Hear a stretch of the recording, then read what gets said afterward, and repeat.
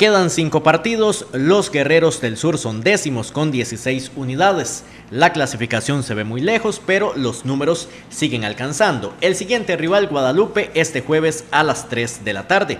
La meta de los del sur conseguir los restantes 15 puntos. Ahora estas cinco fechas nos pusimos eh, de el listón ahí de los puntos, ¿verdad? Entonces igual ir partido a partido, pero pero es eso, puntuar, puntuar de tres en casa y, en visita y esperamos empezar ahora el, contra Guadalupe. Desde el regreso del torneo, los generaleños tienen dos derrotas de 1 por 0.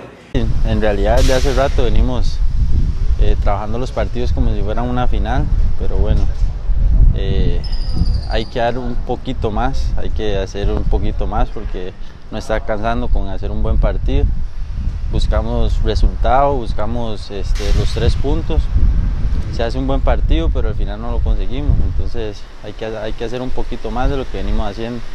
Para este jueves, parte de la estrategia guerrera es buscar un gol para provocar movimientos en el rival guadalupano. En Guadalupe es un equipo muy ordenado.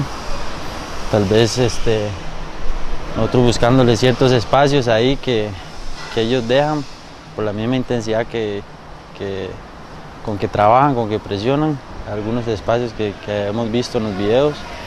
Entonces es eso, como buscar aprovechar esas oportunidades y la que quede, ¿verdad? aprovecharla, porque obviamente el, gol es el mejor táctico que, existe y, ya con una ventaja de un gol ya, ya nos podemos acomodar mejor y ya ellos se tienen que abrir y, y cambia un poco ¿verdad? El, el esquema de ellos.